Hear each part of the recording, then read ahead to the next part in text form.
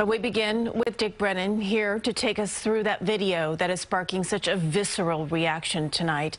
Dick, to say it's disturbing to watch is an understatement. Absolutely, Christine and Maurice. Five officers are facing murder charges in this case. More than an hour of footage was released. It shows the officers at first trying to tase Tyre Nichols, and then he runs away.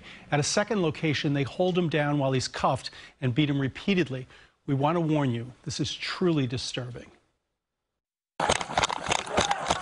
It's excruciating to watch and to hear. Tyre Nichols enduring a brutal beating from Memphis police officers and then desperately crying out for his mother. Watch out, watch out, watch out. From a street camera, an officer can be seen belting Nichols with a baton. Then, after he stood up, Nichols is bashed in the face three times by the same officer before he goes down. But it doesn't end there. When he's on the ground, he's kicked by another officer. He's then dragged over to a car where he's propped up. Medics eventually arrive, but appear to have no sense of urgency. At least one officer casually ties his shoe, and two can be seen giving each other a high five. It's gut wrenching. Um, it's barbaric. It's inhumane.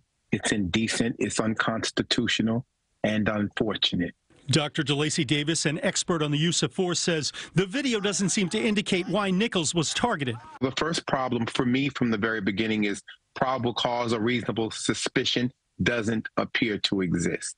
Get the up. Damn, I didn't do anything. The incident began as a traffic stop with Nichols being hauled out of his car, seemingly unaware of what was going on. Turn your ass around. All right, all right, all right, all right. On the ground, on the ground, on the ground. All right, all right, all right. Bitch, all right, hey, you don't, you don't do that, okay? Get on the ground.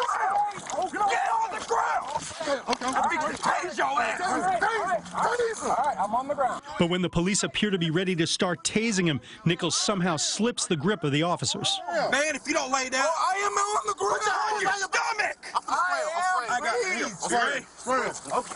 Get the fuck back up. I'm not doing it. Nichols takes off down the street, for now free of the officer's brutal grip, but it won't last. He'll be chased down and pummeled again.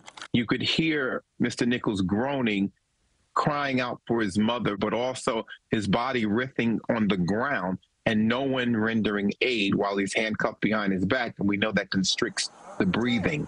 So th- it's just a failure from start to finish. Nichols was propped up against that car for 25 minutes or so. Police officers could be seen milling around talking. Nichols was then taken to the hospital where he died three days later. And late tonight, two sheriff's deputies who were at the scene and in the video have been placed on leave. Maurice and Christine. Okay, Dick, thank you.